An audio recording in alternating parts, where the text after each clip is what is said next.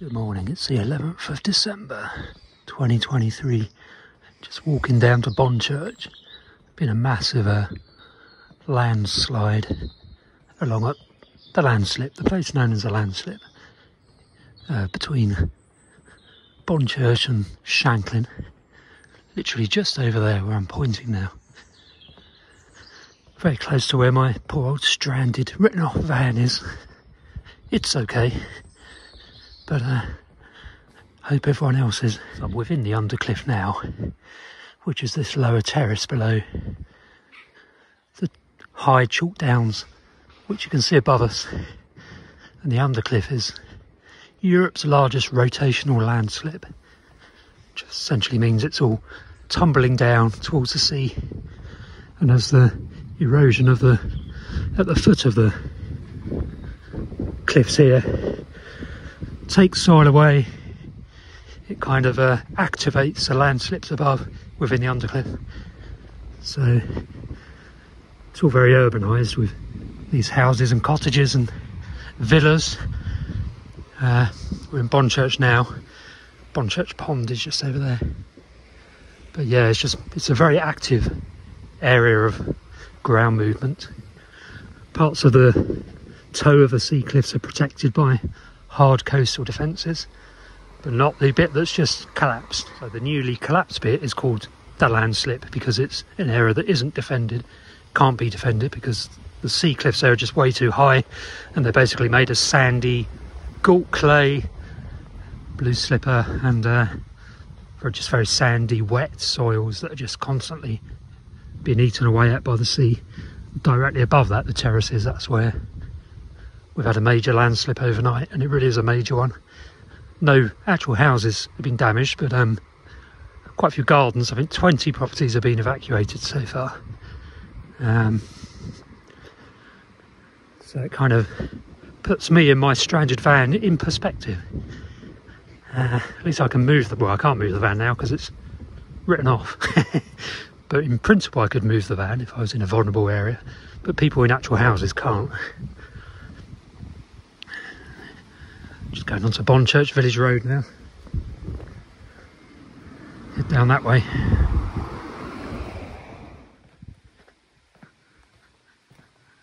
Hello, my lovely van. Oh dear. Anyway, let's carry on. So the road ahead has been closed. That's referring to Leeson Road, I think, which is way above the undercliff. Here's Bonchurch Village Pond, very pretty. So let's go up Shore Road, up here, get back down onto the esplanade to Monk's Bay. So just to try to explain, we're in a, I'm on the undercliff now. So up there's a chalk downland, uh, and I think it's like the 1840s there was a massive uh, landslide here and along the entire length of this kind of southeast coastline of the Isle of Wight between St Catherine's Point in the west and Dunnose, the landslip in the east, which is roughly where we are now. Um, the landslip created this lower terrace where we are now. So there's an inner cliff face just up there and then there's this, which is the undercliff, which is just a spoil from that landslip, basically. A whole mass of basically unconsolidated green sand slabs, chalk, and gault clay. And the gault clay is the, or black slipper is the, is it black slipper or blue slipper? One of the two. Is the troublesome thing because that's where the water seeps through from the downs above. So you can imagine loads and loads of rainfall on the downs above gradually, very slowly seeps through um, and cascades down through the undercliff where we are now, seeps through all this soil and lubricates that gault clay, causes ground movement. So the terraces, massive slabs, very heavy, they gradually push down towards the sea. And at the base here, along the toe, where the sea meets the land here, meets the base of the undercliff, you've got some defended areas. In terms of, you know, by defended, I mean over the years, coastal defences have been put in, so concrete uh, apron seawall along the base of the cliff in some areas. So where I am now, there is a concrete sea defence. Just to my left um, is where the landslip is, which is not defended, and then to my right is Ventnor about a kilometre away, which is mostly defended at, at the toe. So there's mostly sea walls along the coast, um, and that goes as far as uh, Steep Hill Cove. There's a few gaps in the sea defences, and then beyond that, going towards St Catherine's Point, there are no sea defences along the coastline at all. Um, so it's very active. So basically, when the sea eats away at the sea cliffs down here, down at the bottom of the undercliff, that basically releases all the terraces, all the kind of active landslips above, and basically they get pulled down by gravity. And that's what creates landslips. Well, a combination of the erosion at the toe by the sea and all that water seeping down from those high downs above. You can see how tall the downs are. So when it rains up there, all the water eventually comes down here very, very slowly. But if there's a lot of water, like there was August, then all that water eventually comes down into these terraces in the undercliff, lubricates the gault clay, and that's what causes ground movement. So it's a highly natural process, very difficult to defend against. Although in this area it's been done done very well from a coastal defence point of view, because there are concrete defences down here. But the bit that slipped away last night um, is called the landslip, and that area has no sea defences because the cliffs are just way too tall. So it's technically it just wouldn't work. You know, your low coastal defences would soon be swamped by um, cliffs falling down from above. You know, it's literally tens of metres high, those cliffs, and they're all sand basically sandy clay, gault clay, with some big slabs of chalk and green sand. Anyway, let's go down to the actual toe of the coast here. So we're now down in Bonchurch itself at Monk's Bay. You can see the uh, toe defences here, the, the base of the undercliff. Bonchurch Pottery is defended by these pretty hefty bits of coastal defence. Getting quite old now, but still doing the job. And they carry on all the way to Ventnor along that way.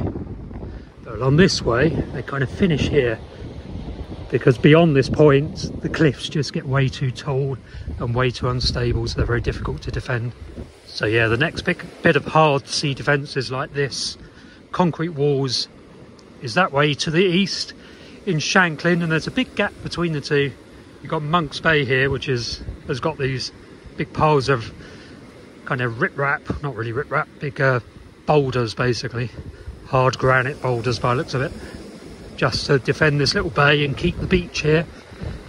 And then just go around the corner there, there's no defences at all. They end. And it's above that where the massive landslip has occurred.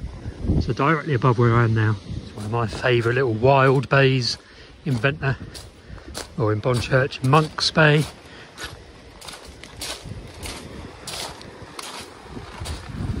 Absolutely gorgeous and what a cracking day as well.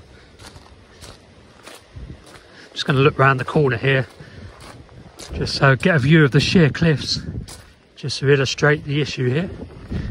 Okay, so I forgot about this little stretch of hard defences here, built to protect these houses and slow down the movement directly above.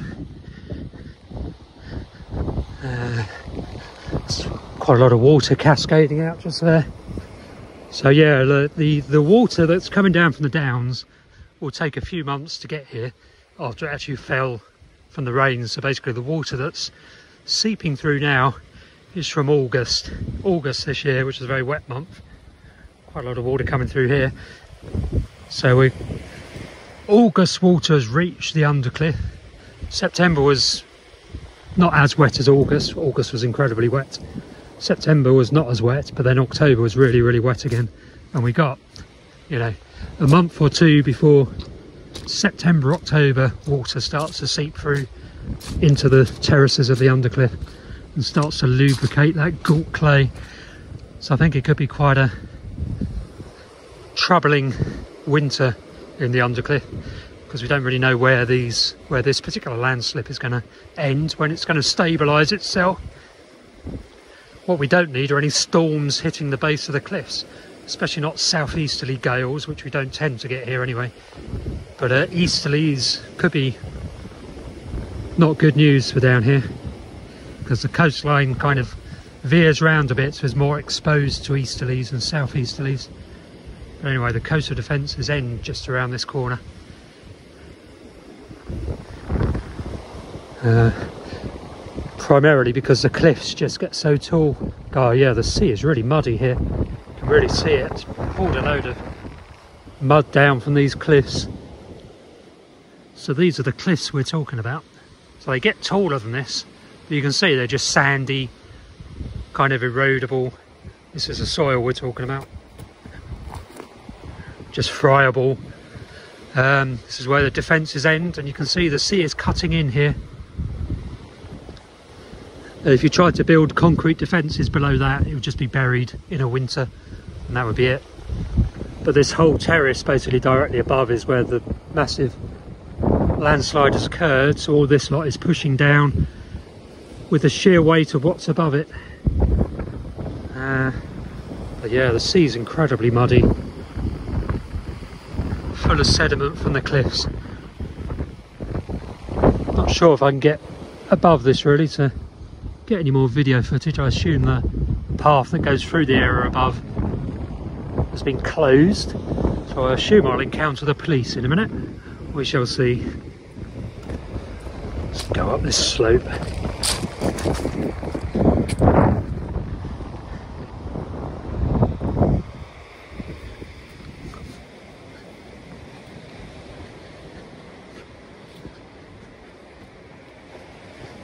I'll just walk this way a little bit. Don't think I'm going to get very far because we're entering the landslip, which uh, I assume I'm, I assume the police have closed it off. It's not going to be safe to walk through there. Yeah, directly above these buildings ahead of us is where this big landslip occurred. Let's see how far I can get along here. So just going into the landslip now. I'm only going to go to the top here, no further. So right on the edge of where the landslip occurred now.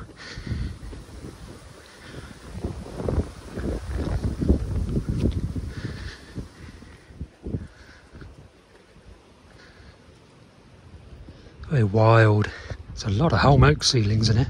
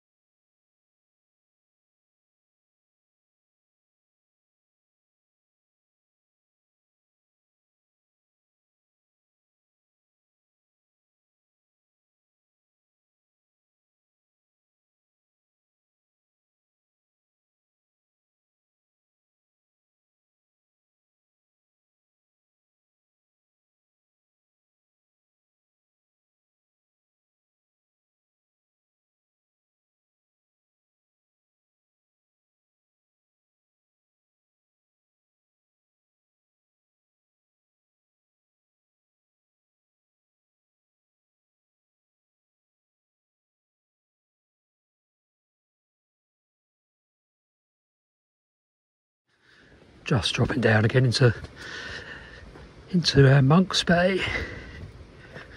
Uh, so I can walk along the coastal defences. Back to Wheeler's Bay and then on on into Ventnor. And here we are. Walking west now. A bit blowy, so I won't do much video recording along here because you'll just get annoyed.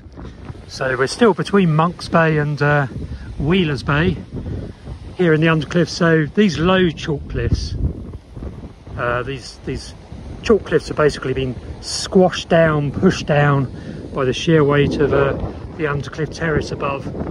Um, and it is feasible to build these kind of coastal defences where the cliffs are relatively stable. I mean, it's not that stable, as you can see, loads of spoil, but um, you know, they're harder chalk, but it's really soft chalk. You know what I mean, they? And they're relatively low, so these defences are not going to be inundated, covered up immediately by cliff falls. Um, whereas the section we looked at earlier, the other side of Monks Bay, just over there to the east of here, the cliffs are a lot higher and they're all made of sandy, gault clay mixture of all sorts of stuff. And so if you get a landslip there, it's just going to bury defences like this, um, quickly inundate them and not really have any effect at all. So anyway, let's carry on walking. So back in the uh, relative stability of Ventnor, uh, I really hope those uh, those homes can be made safe. Um, and 20 odd homes have been evacuated in Bonchurch due to the landslip. Um, yeah, just hope those uh, households are, are okay this close to Christmas as well. But um, yeah, not good. What we don't need now is any more storms or any more very wet weather. So hopefully we'll have a calm winter and they'll be able to be able to address the issues around that landslip and make it all safe and habitable again. Ah. It's a lovely evening here though. But um yeah.